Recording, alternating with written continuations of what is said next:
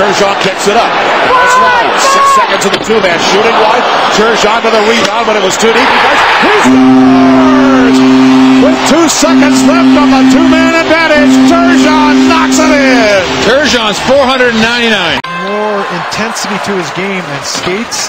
This guy could be a real force in this game, and sometimes it takes a while to uh, to understand that. Turgeon from behind the net tries to get a shot away. Phaneuf was tied up by Konowalchuk, and he was holding up the Flame netminder. A shot from behind the net, and it goes by Phil Sauve.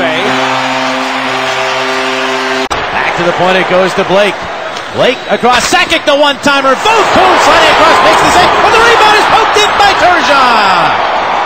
Here, Turgeon batting that one in, and it is a 2-1 game power play goal for the Avalanche. 11-10 to go in the second period. 5 nothing for the Avs.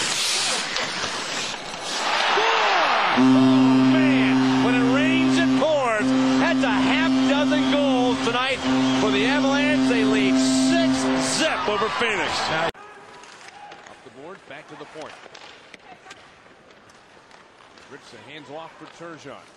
Shot scored! Banked in by Turgeon.